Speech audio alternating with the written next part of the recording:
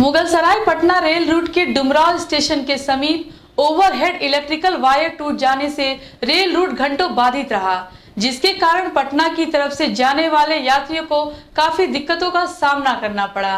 कई ट्रेनों को डाइवर्ट कर चलाई गई तो कई ट्रेनें रद्द कर दी गई। जिसके कारण पटना की तरफ़ जाने वाले यात्रियों को काफ़ी दिक्कतों का सामना करना पड़ा।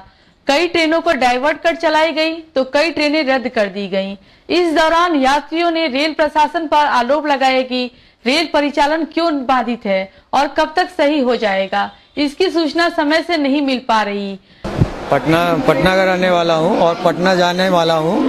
ट्रेनें काफ़ी देर से विलम्ब से चल रही हैं इसके कारण बहुत ज़्यादा परेशानी हो रही है। अभी एक सा, एक साथी से पता चला कि ये बक्सर के पास ट्रैक टूट गया इसके कारण भारी परेशानी हो रही है। जल्द से जल्द इसका समाधान हो जाता तो हम लोगों को परेशानी कम हो जाती और अनाउंसमेंट होना चाहिए इसका प्रॉपर। प्रॉपर वे में सूचनाएँ वगैरह सूचनाएँ वगैरह देनी चाहिए क्योंकि 18-18 घंटे लेट चल रही है ट्रेनें वहीं उप स्टेशन अधीक्षक मुगल सराय ने बताया कि काफ़ी प्रयास के बाद ट्रेनों का परिचालन शुरू हो पाया है। मेन लाइन दानापुर डिवीज़न में डुमराव के पास ओएचई तार टूटा हुआ था।